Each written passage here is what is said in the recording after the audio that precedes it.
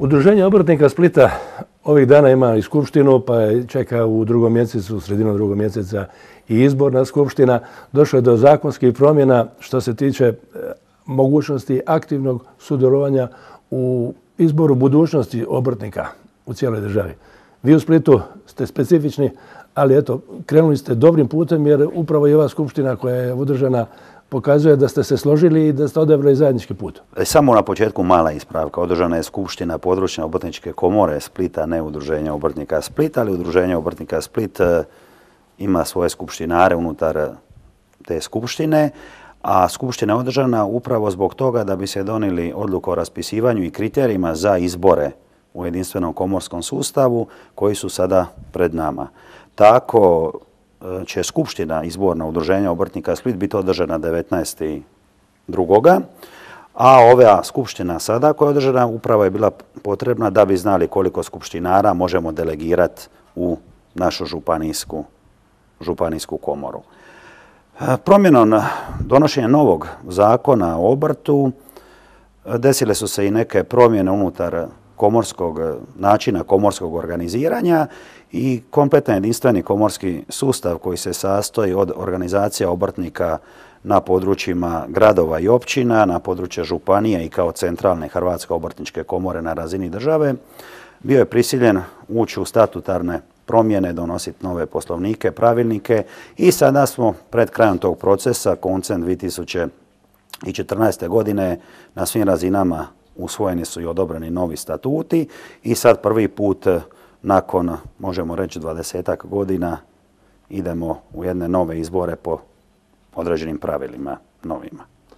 usputno saznamo da su članovi udruge zapravo sada moraju obvezno prihvatiti svaki obrtnik zapravo iz toga momenta kad se prijavi postaje član udruge.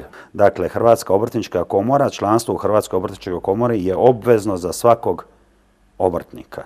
E, upisan u obrtni registar, otvaranjem obrta, on automatski postaje član Hrvatske obrtničke komore i ne može birati da li će postati, da li neće postati. E, bilo je dilema prilikom donošenja novog zakona o obrtu da li e, uvest dobrovoljno članstvo ili da ostane obvezno. Eto ga, ostale obvezno članstvo, ali za očekivati je da se u narednom periodu do kroz četiri godine možda i bude išlo na to dobrovoljno članstvo, ali je kompletnom komorskom sustavu ipak dao jedan, dati jedan period da se prilagodi i pripremi na to dobrovoljno članstvo. I očekujete da ćete kao takovi onda bolje funkcionirati u cjelokupnom sustavu? Pa gledajte, obvezno članstvo ima svoje e, prednosti zato što ti je osiguran iznos financiranja kroz članarinu. Ali u neku ruku ograničavate u djelovanju i zastupanju interesa samih obrtnika. Ako si pod državnim patronatom, ako je država, vlada ta koja ti određuje pravila, onda u neku ruku uvijek može te ono malo potapšati po ramenu i reći stani malo uspori. Danas, sutra, ako budemo imali dobrovoljno članstvo i dobro se pripremimo na njega, možemo djelovati kao sindikat. Kao sindikat, ukoliko uvjerimo članstvo da budu članovi, nazovimo ga, tog našeg obrtničkog sindikata, sigurno možemo biti relevantniji partneri za pregovore. Ono što niste mogli do sada činiti, a to je e, nedostajala možda i podrška grada, a i e, resornog ministarstva koji su nekako zakasnili, pa ste vi obrtnici došli u situaciju da zapravo dođete ono, pred zid zatvaranja svojih obrta, posebno ovi stariji koji su se povlačili u mirovine ili su jednostavno morali zatvarati obrta. Pa gledajte, obrtništvo to vam je, to vam je način života. Hrvatska obrtnička komora se borila da mi dobijemo svoje ministarstvo, ministarstvo poduzetništva i obrta i dobili smo ga. Očekivanja su bila velika, ali upravo, ajmo reći da je ljubav pukla na tom dobrovoljnom i obveznom članstvu, pa je očekivanja od tog ministarstva baš i nisu e, ispunjena u konačnosti. Situacija je takva kao što je. E, kad je kriza gospodarska, onda najprije stradaju mali, sitni obrtnici, a pogotovo ako su ostali izolirani i sami sa svojim problemima. Upravo u tome je budućnost e, Hrvatske obrtničke komore, područnih komora i udruženja obrtnika, pa i danas sutra kao udruga građana, ako dođe do dobrovoljnog članstva, da se obrtnici u neku ruku drže zajedno i da zajednički nastupaju i pokušavaju rješavati neke svoje goruće probleme. Upravo ste stoga i u pregovorima s gradom pokušavate skupa sa Pa, budući da Udruženje obrtnika Split djeluje na razini grada, normalno je da suradnja sa lokalnom samoupravom je i tekako u interesu obrtnika koji rade na području grada Splita, mada mi pokrivamo i Solin, i Dugopolje, Šoltu, Postrano, Žrnovnicu, znači to je taj teritorij koje pokriva udruženje obrtnika Splita i u razgovorima smo sa službama u gradu kako da vidimo nakon što odradimo ove naše izbore, odmah od 19.2. da počnemo jednu intenzivnu suradnju, ima nekih planova, ima nekih dogovora, moramo iznaći način kako pokušati sa naše strane oživiti gradsku jezgru, tu najviše stradaju obrtnici. Da ne govorimo da smo imali slučaja pritužbi žalbi, na primjer da turistički vodiči kad vode ture po Dioklecijanove palači, po gradskoj jezgri, kažu, a nemojte tu u shopping, imate ovdje City, imate ovdje Joker, imate ovo, nemojte tu kupovati. Što to nije u redu, ti obrtnici ipak ako neće ta tri mjeseca ljeta.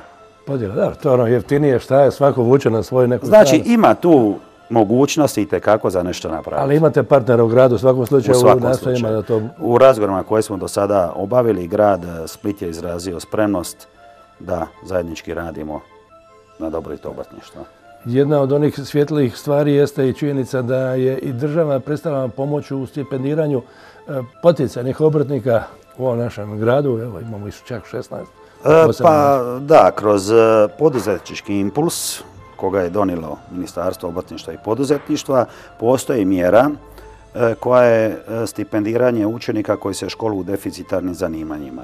Po prvi put od kako postoji ta mjera i taj program, Udruženje obrtnika Split je uspjelo dobiti 14 stipendija preko te mjere i još dvije stipendije podijelilo o svom vlastitom trošku. E, ovdje smo partneri sa ministarstvom na način da ministarstvo sudjela u 75% iznosa stipendija, a mi u 25%, to je za tih 14 stipendija koje traju godinu dana i bespovratne su, a sami svojim sredstvima sudjelujemo u dodjeli dviju stipendija i to su stipendije u iznosu od 500 kuna mjesečno po učeniku. Znači 16 učenika puta 500 puta 12 mjeseci. Istodobno pokušavate i ovo na županijskoj razini podinuti i pokrenuti posebno kad je u pitanju školstvo i novi kadrovi, odnosno strukovna organizacija kaže nema stručnjaka. Pa to je jedna velika istina. Na primjer, eto, ovaj put smo, po prvi put smo krenuli u taj program, dobili smo, odobrena su nam sredstva, e, razgovarali smo sa svim e, ravnateljima splitskih škola koji školuju učenike u tim deficitarnim e, zanimanjima i došlo se do jedne ideje ukoliko bi i u ovoj godini postojao taj program, da se ide u realizaciju, ali na način da bi eventualno već sve riješili tamo pred pred kraj školske godine, znači već četvrti, peti mjesec, kako bi i škole mogle, na primjer, oglašavati, pa reći sad, ako se upišete u zanimanje stolar, imate stipendiju, ako ćete u plino instalatere, imate stipendiju, pa i na taj način bi se možda učenici privolili da se upisuju ta deficitarna zanimanja. Ovo su sada jednogodišnje stipendije, ali u suradnji sa županijom, sa svim relevantnim suradnicima, može se dogovoriti da se u suradnju sa tvrtkama, sa obrtima kojima je potrebna određena struktura radne snage, unaprijed školuju tak, e, takovi, takav kadar, pa onda to više neće biti bespovratne stipendije, onda to stipendije mogu biti i kroz tri godine koliko traje školovanje, ali onda u tom slučaju se zna se, nakon tri godine radiš tu, tu i tu ili stipendiju si dužan vratiti. Ali o tom potom, mislim, sve su to mogućnosti koje trebamo pokušati realizirati u sljedećem periodu nakon ovih izbora. A to je ono što će se ipak više raditi na županijskoj razini pa i na državnoj razini. Koliko sam upravo ovi na državnoj i županijskoj razini odmogli s obzirom na brojne probleme koji su se javljali prije svega, recimo novac koji je nestao na ovim višim razinama koji se treba upotrebljavati skroz druge svrhe, ljudi su sada završavali po zatvorima, a vi ste ostali bez mogućnosti da izravno pomognete obrtnicima. Ma dobro, to je malo e, strogo rečeno, postali smo bez mogućnosti da pomognemo obrtnicima. Ajmo reći da se, da se taj nemio slučaj nije desio, e, sigurno bi bilo više sredstava koje bi se mogli u pametne svrhe iskoristiti, ali gledajte, nećemo o imenima, desio se jedan, ajmo reći, kriminal, a desio se jedan veliki propust od strane tijela koje upravljaju područnom obrtničkom komorom Splite, nadzornog odbora, upravnog odbora, predsjedništva, jer ipak smo svi mi bili filteri ti koji su morali vidjeti da se tu nešto dešava. Mjere su poduzetne, djelatnica koja je to napravila dobila je otkaz. Imam informaciju da je DORH pokrenuo. Kazneni postupak? Tako je. Mi smo je tužili za povrat sredstava, radi se od preko 800 tisuća kuna i mislim da o tome govoriti sada dokle sve to skupa traje taj postupak i sve nema smisla, ali upravo zbog toga je dobro o tome pričati pred ovim izvorima da e, obrtnici vide da se moraju to uključiti, da su to njihova sredstva, da moraju imati nadzor nad takvim sredstvima, jer u tijelima upravljanja kako udruženja obrtnika Split, područne obrtničke komore Split i Hrvatske obrtničke komore sjede obrtnici. Ti obrtnici imaju e, na pomoć profesionalne ljude, zaposlenike, stručne urede, komorske urede, koji trebaju im pomoć u upravljanju kompletnim tim sustavom. Ovdje se upravo desilo da su obrtnici na županijskoj razini odnosno obrtnici koji sjede u tijelima upravljanja na županijskoj razini preveliko povjerenje ukazale tajniku područne obrtničke komore, bolje rečeno tajnici područne obrtničke komore i ona je očito zlorabila kako sad stvari stoje, zlorabila svoj položaj i sve ono što ide uz to. Dakle, znači, trebamo se uključiti u upravljanje, trebamo upravljati svojim novcem, trebamo nadzirati to što na osnovu članarina prikupimo. To je 3,5 tisuće splitskih obrtnika kao najveća udruženja u sklopu županije, tu je 12 organizacija, vi ste najveći, morate biti nositelji svega toga. Morate biti... Pa gledajte, eh, ja osobno eh, mislim, neke moje kolege se ne bi složile s menom, da svaka županijska obrtnička komora je jaka u većini slučaja koliko je jako njeno najjače udruženje. Sa udruženja koje ima 3,5 tisuće obrtnika, sigurno je na njemu veća odgovornost za pomoć obrtnika nego nekom udruženju koji ima 120 obrtnika. Ali budući da smo mi dio jedinstvenog komorskog sustava, ne smije se desiti ni da velika udruženja tipa Splita radu protiv malih udruženja, mi moramo zajednički djelovati opet u interesu obrtnika. Znači čeka nas izborna skupština 19. veljače ove godine i onda ćemo znati kojim putem se kreće. Zapravo, vi predviđate da će to biti onaj pravi put i da će biti jednostavnije biti obrtnik.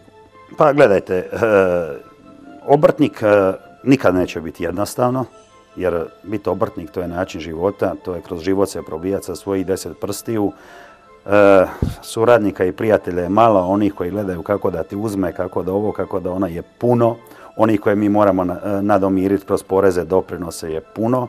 Znači, to mi ne možemo rješavati ni kroz udruženja, ni kroz područne obrtničke komore, to se rješava na razini države i tu nam je potrebna Hrvatska obrtnička komora. Neki dan je ministar Mrsić, dakle ne vaš restorni, ali eto tu je spominje, govori perspektiva Hrvatske, turizam, poljoprivreda, zdrava prehrana i mali obrt. Pa On je rekao što je perspektiva Hrvatske. Pa svima su tog obrtništva i malog poduzetništva puna usta. Ali nije to baš tako. Treba ipak neke stvari promijeniti u mentalnom sklopu ljudi koji su u dodiru s nama obrtnicima. Imam osjećaj manje nego prije, ali kad dođemo na poreznu upravu, kad dođemo na neke institucije, opet nas ono gledaju kao, kao da smo još uvijek u socijalizmu i sad ovo su neki privatnici, ovo su neki muljatori, ovi su neki ono, mi moramo biti partneri. Nema na druge nego onda čekati ovaj izbornu skupštinu pa ćemo vidjeti dalje.